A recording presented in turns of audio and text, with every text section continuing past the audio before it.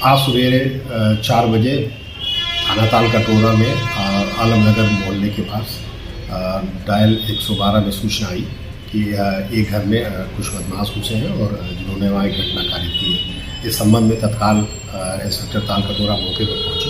और घटनास्थल का निरीक्षण किया। जिसमें ये बताया गया कि वहाँ पर दो व्यक्तियों द्वारा एक घर में जो है वो लूटपाट की गई और जिससे जिसमें उन्होंने कुछ कैश और उनकी ज्वेलरी वो देखे गए हैं। इस संबंध में तत्काल अभियोग पंजीकृत कर कर आवश्यक कार्रवाई की जा रही है और घटनास्थल पर dog squad fingerprint expert सभी को भेजा गया है और शीघ्र ही घटना का खुलासा किया